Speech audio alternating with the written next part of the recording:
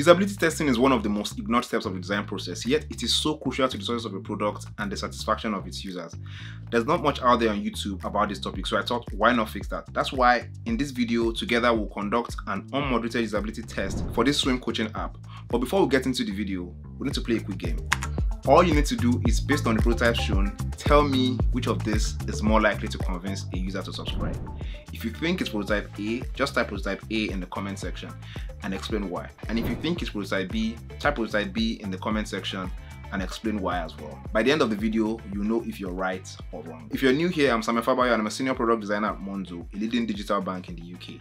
Before that, I was a senior product designer at Deliveroo, a food delivery company that's well known in the UK and a few countries across Europe. These design-led companies use the same usability testing process I'll be walking you through in this video, so they're as real world and practical as they can be. We'll cover everything from planning to setting up a test to launching a test and analyzing user feedback. I've included chapters for each of these steps so you can jump to any of the chapters if you want to jump ahead. The first thing you need to do when running a usability test is to plan your test. This usually involves writing three to five clear research objectives for your test, writing out the qualifying criteria for the participants you want to recruit, and writing your test details. The test details usually includes a summary that explains what your test is about to participants, a welcome message, a set of instructions that you want the participant to follow, follow-up questions that you want to ask, and an optional thank you message. All of this will be needed when we get to the setting up phase of this video. You can do all of this in a Google Doc or a Notion page like I've done here. I like keeping the objective to a minimum of 3 and a maximum of 5, so I'm not trying to learn too many things at the same time from a single test. For example, the four key objectives of this test is to identify any usability issues within the onboarding flow, evaluate ease of completing the onboarding flow, assess the clarity of the subscription page, and measure the task completion time. We'll test two variations of the app's onboarding flow. I've already designed and prototyped the app on Figma so we can jump straight into testing. The main difference between both variations is the subscription screen at the end of the flow, which I already showed you. And our main goal is to identify which subscription screen is clearer to users. I'll be conducting the test with Lyssna. Lyssna is an all-in-one research platform where you can conduct user interviews, recruit participants, run usability tests, and even create surveys. This makes it the only platform you need to uncover insights about your users. Lyssna is used by design-led companies like Google, Figma, Miro, Asana, and many more companies. Thanks Lyssna for sponsoring this video. Now let's get into Lyssna to set up our tests. So we're gonna head to lyssna.com. And once we get there, we just log in. So I'm a Lyssna now. First thing I will do is to create a study. I want to create a test or survey and we'll enter our test name. The name of our test is Swim Coaching App Test. And for the for participation, where do we want our participants to take the test on. Do we want them to use all device, mobile only, or desktop only? I would go with mobile only. Um, then we'll enable screener questions. Screener questions is one of the interesting things about Lyssna. You can set some questions that would help you to screen your participants. So in this particular case, I want participants that are involved in some kind of fitness or, phys or physical activity and people that have been using some kind of tracking app to track their physical activities. So I'm going to bring in some screener questions from the test plan that we already put together. The first screener question is, do you engage in any regular sporting activity? And this is going to be a multiple choice question. The answer is going to be yes and no. For people that answer yes, I'm going to qualify them for the test. For people that answer no, I'm going to disqualify them. I can add another choice if I want to for the options, but this is just a yes or no question. I'll add another screener question, and that is going to be which of these sporting activities do you engage in? I want to qualify people that engage in some kind of sporting activities where they need to track it, where they can use an app. So in that case, people that run use an app, people that cycle use an app to track that, people that hike use an app to track that, people that um, swing, of course, use an app to track that. The other ones are going to be disqualified. And then people that don't engage in any sporting activities at all are going to be disqualified as well. People that play tennis are going to be disqualified. So for the top screener question, it is, do you use any app to track your sporting activities? We want to actually do something interesting here. We're going to disqualify someone that already uses an app and we're going to qualify someone that doesn't because now we want to get somebody that doesn't use an app to track their sporting activities and we want to use that as a way to see how somebody that hasn't used use an app to track their sporting activity would get to go through this app and see what their feedback might be. People that have actually used an app to track their sporting activity might have some kind of bias and they might not be the best kind of participant that we want to get feedback from here. So we have the welcome screen, which is the next one. So we're going to customize the welcome screen. We already have um, the welcome screen message in the test plan as well. So we just copy that. We'll go to the next section, which is where we choose the type of test that we want to do. The type of test that I want to do is a prototype test. There are other types of tests here. You could do a five second test, you could do a design survey, you could do a preference test where you just show participants two or three things and ask them which ones they prefer. What we want to do here is just go straight into a prototype test.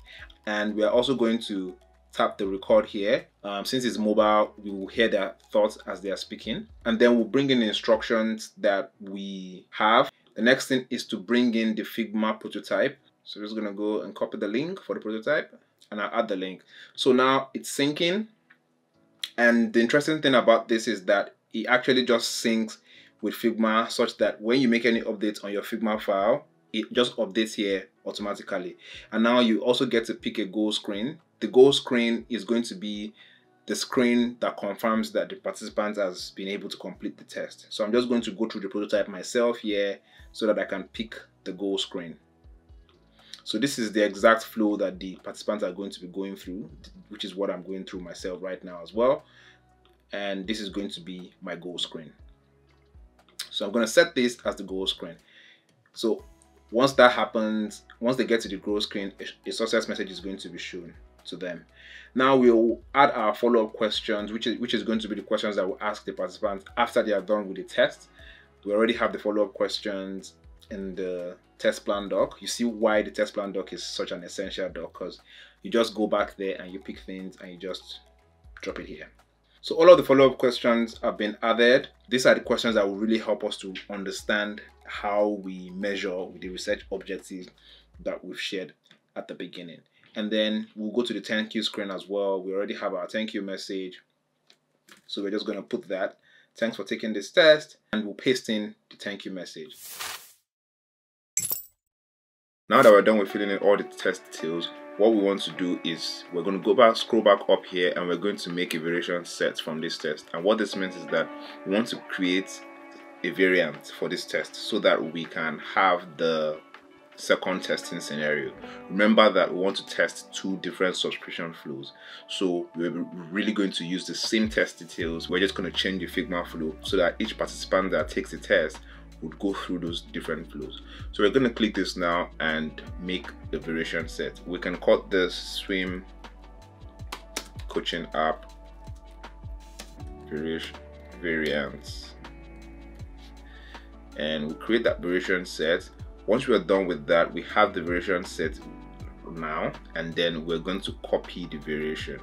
And we want to make it a variation in the swim coaching app variant so we'll duplicate that. So we have the two variations now. I should have named it properly so i can differentiate it but i think this is fine.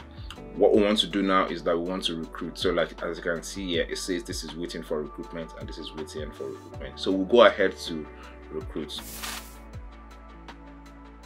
there are two options for recruitment. You can recruit from Lyssna's research panel where they have lots of high quality panelists that can take the test. They have over 500,000 diverse people across different countries that will be able to take the test. And you can also filter those people by the kind of attributes or the kind of demographics that you're looking for.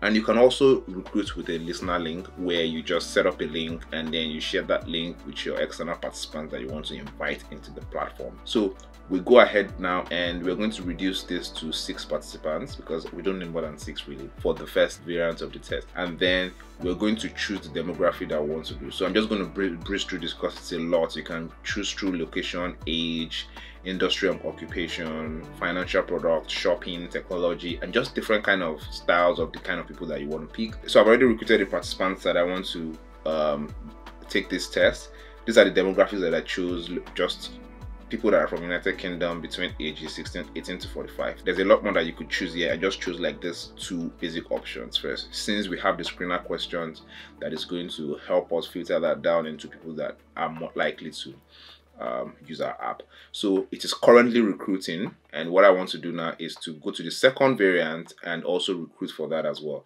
So I'm just going to do the same thing that I did before. As you can see here now, it is recruiting participants for both tests. So we're going to wait for a couple of hours for them to take the test. So the responses are in now. We can now analyze the results of the test. Let's see the results for prototype A. So for prototype A, the average task completion rate is 2 minutes 20 seconds. It was filled by six participants, which is the same thing with second prototype. When asked the question, how easy was it to complete the onboarding flow? Six of the participants all said it was very easy. When asked the question, how clear was the information on the subscription page? Four of the participants think it is very clear. One of the participants think it is clear, and one of the participants is neutral. Um, and that gives it a mean score of 4.5. When asked how confident they are that they understood the subscription options presented, five of the participants said they were very confident, and one of the participants said they were confident. And that has a mean score of 4.83. And then, when asked how they would rate the overall experience of the onboarding process, two of the participants said they would rate it as excellent, and then four of the participants said they will rate it as very good. When asked the question, how likely are they to subscribe after going through this flow? One of the participants said they are very likely to subscribe, and then four of the participants said they are likely to subscribe. Then for prototype B, again, six participants that had an average task completion rate of 2 minutes 32 seconds. But also when asked the question how easy it was to complete the onboarding flow, four of the participants said it was very easy, one of the participants said it was easy, and one of the participants found it difficult. When asked how clear the information on the subscription page is, three of the participants found it very clear, two found it clear, and one didn't understand it.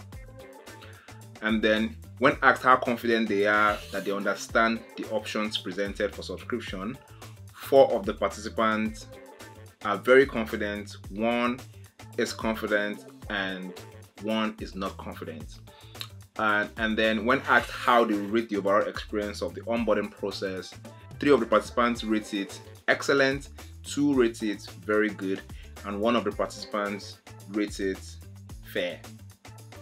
And then when asked how they are likely to subscribe after going through the flow, half of the participants, that is three, said they are very likely to subscribe. One of the participants said they are likely to subscribe, and two of the participants said they are not very likely to subscribe. So if we compare both prototypes on task completion rates, ease of use, how easy it is to understand the subscription options presented, how likely they are to subscribe, and every other thing that we ask them, prototype A is the winning prototype. So if we're going to ship this experience, prototype A will be the experience that will be shipped to users. I'd love to know in the comment section if you have any questions and I'd be happy to respond to that. YouTube thinks this is the best video for you to watch next. Let's see if they're right. I'll see you in that video.